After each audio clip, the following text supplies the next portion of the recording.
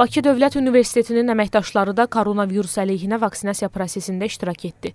Universitetdə təbib tərəfindən təşkil olunan səyyar briqadalar vasitəsilə bu gün könüllü şəkildə 500-ə yaxın əməkdaş peyvənd olundu. Çox yaxşı hiss edirəm. Heç nə hiss eləmədim. Ümumiyyətlə ə, bu virusu keçirmisiniz? Bəli, keçirtmişəm. 6 ay bundan qabaq keçirtmişəm, amma yenə gəldim, vurdurdum. Sistemə baxdılar təbibdən, dedilər ki, vurdurmaq olar. Yaxşı, şükür, yaşayam. Birinci dozadır yoxsa? Birincidir bəli. Neçə yaşınız var? Mənim 62. Bakı Dövlət Universitetində 3000-ə qədər əməkdaş var və onlar mütəmadi müraciətlər edirdilər və təbii çox sağ olsun ki, belə bir səyyar məntəqə yaradıb. Hesab edir ki, 4-5 gün ərzində bu proses tamamlanacaq. Vaksindən sonra, ə, yəni təlimata görə 3 gün müddətinə ə, su dəyməməli. Hansısa bir ə, qidaya qarşı allergiya varsa, həmin qidalardan uzaq durmalı.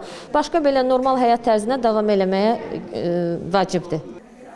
Səyyar briqadalar təşkil olunandan ə, artıq 5000-ə yaxın ə, iştirakçı, bəli, 5000-ə yaxın insan könüllü şəkildə iş yerlərindən ayrılmadan vaksinasiya prosesində iştirak eləyiblər. Həmçinin qeyd edim ki, səyyar briqadaların təşkilində məqsəd bu prosesi sürətləndirməkdir və tibb məntəqələrində sıxlığın aradan qaldırılmasıdır.